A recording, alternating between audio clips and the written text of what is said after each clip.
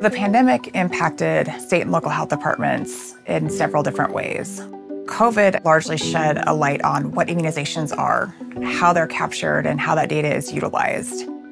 The reason that every state in the country has an immunization information system is that healthcare and protecting uh, the health of individuals, as well as the privacy of individuals, is a state mission. And when you go and get your shot, whether it's at the hospital or the clinic or the pharmacy, that information gets transmitted to the state where that shot took place, and it goes into that registry so that there's always a source of truth for what happened.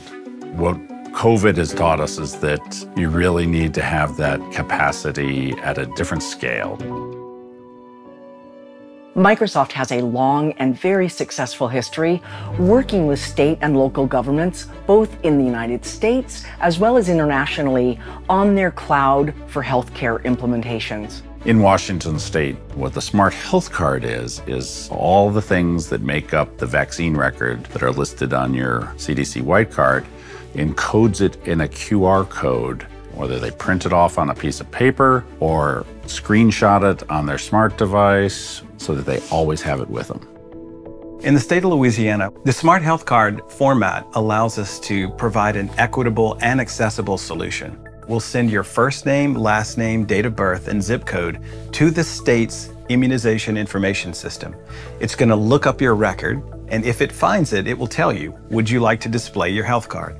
If you choose yes, we will build an encrypted, verifiable smart health card credential and securely bring that to your device. Supporting an entire state with millions of users, we had to rely on something else, and that was Azure. It detects the traffic that we need. It automatically scales to accommodate all of that, where most normal state systems or even on-prem systems would completely crash. In Washington state, we had actually a funded two-year project to migrate pieces of our on-prem infrastructure to the Azure cloud. The amazing thing about pandemic speed is that we took that two year project and moved a significant portion of it in two to three months. Because smart health cards were built on an open standard within an open community, it enabled everyone to share and collaborate and support each other, and smart health cards were able to be delivered much more quickly. I've been fortunate enough to work with more than 20, 30 states, sharing ideas, because the ultimate goal is to eliminate vaccine preventable diseases from our country. What the Smart Health Card did is that it gave us the ability to provide immunization information access to everyone in the state. For us, it, it was a no-brainer. Without this pandemic, it would have taken us decades to get to a point where there was a universal standard that could be adopted and leveraged by providers out there.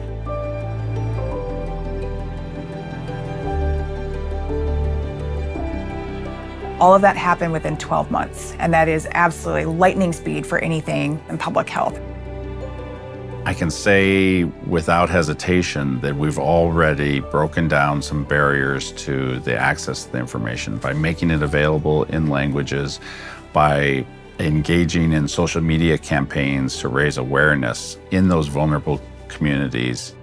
These innovations and data modernization have transformed the way we do our work. That's the future, and we can't go back.